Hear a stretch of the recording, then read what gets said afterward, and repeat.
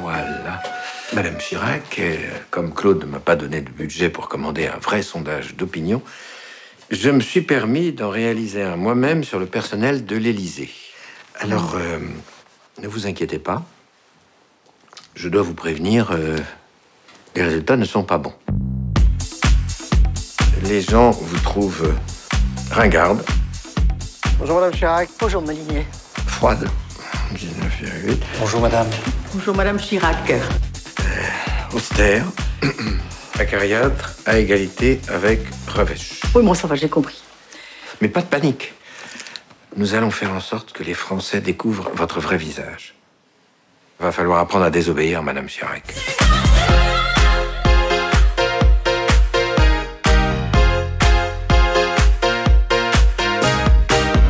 Parfaite. De maintenant, ça va filer droit à. Mais enfin, qu'est-ce que c'est que ce bordel?